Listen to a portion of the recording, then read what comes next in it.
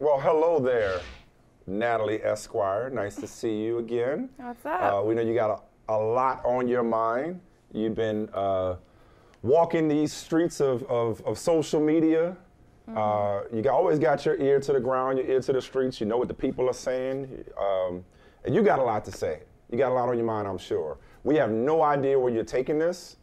like, like I have no idea what topic you're gonna bring up. Neither Michael nor I has prepared. So be gentle. Of course. Take it Of away. course.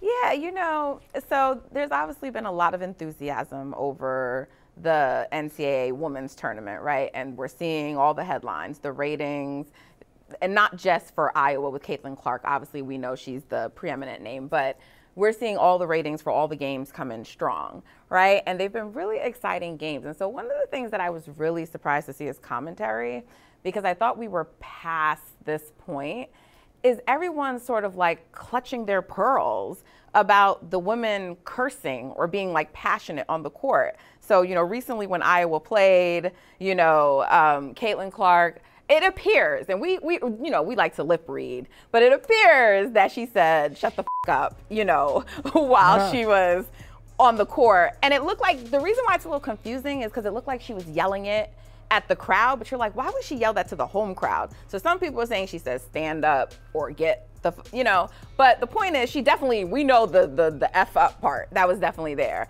And people just like, there was so much like, you know, commentary around it. And then also before that game, she had another game where like she just she wasn't playing her best, so she like threw the ball at her head and she was arguing a lot with the refs. That her father, there's like they just kept going to it. Her father was like, "Stop!" like yelling at her from the crowd. And so then it was this talk about, oh, you know, like um, she doesn't need to be behaving like that, and you know, especially when they're up that much. And I do think it's a little whiny, but I'm like, this is stuff that happens in the men's game all the time, and it continued. You know, Angel Reese, the opponent that uh, LSU was playing, she fouled out of the game, and she waved bye bye because that's what we do, right? Like that's what happens in sports. They taunt, they do things, and of course the classless comments came, um, and we'll get into what some of that means. But she was called classless, and you know the diva, all those kinds of things. And then Cameron Brink out of Stanford, she fouled out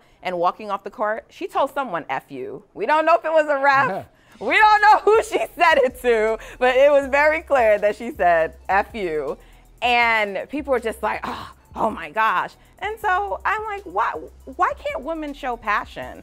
And I'm just, I'm just surprised because I know there's a lot of, you know, uh, there's a lot of commentary always about women's sports, and there's always the haters and things like that. But I just thought we've evolved in a place where we know that they're athletes and they're going to show passion, and this shouldn't be a big deal still. Yeah, I'm, I'm, I'm surprised. I don't know about you, Mike. I'm surprised that uh, there's an expectation that we've evolved. I don't think we've evolved to that point. That's a, that, that's, I'm not surprised by the cussing. And nor am I surprised by the commentary because a lot of people still don't get it. Look, you start with Caitlin Clark. She is the all-time leading scorer in NCAA history, men and women. She's an all-time leading scorer. She's a great player. She's a competitor. All, she's going to be the number one pick in the WNBA draft. So why wouldn't she? I'd be surprised if she didn't drop some f bombs every now and then. So uh, anybody who is who is looking at them, looking at these players, and kind of assigning value to how they should be acting is probably stuck in a different time. I mean, it's a pretty simple answer. If you don't talk about men that way, you talk about women that way. Why is that? I think we know what we, we know what that's about, right, Natalie? We know what we know where that's coming from. Yes, but don't we For want men and that in sports? Don't we For want men and women. Right, but don't we want it to be fiery, right? And like this is this Yes. is you know, this Of is course. just like okay, this I'm talking about the cursing, right? And I mentioned I mentioned with Angel, right, that there's the class list because somehow the commentary, like in, in comparison of all the things that happen, waving bye bye on the court versus potentially cursing at a ref or cursing at the crowd. Of the three, if we're ranking them in order of offensiveness, I feel like waving bye bye is probably the least offensive, yet her Correct. criticism seemed the harshest. So aside from the gender dynamics at play, as you know, there's also a racial um, component and element when it comes to Angel Reese. And so that's to be expected.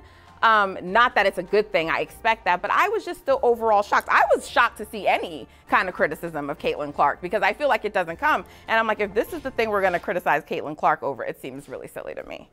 Hey, thank you for watching Brother from Another. If you haven't hit that subscribe button, go ahead and do that now. Don't forget you can catch us 3 to 4 weekdays on peacocktv.com and on Sirius XM Channel 85.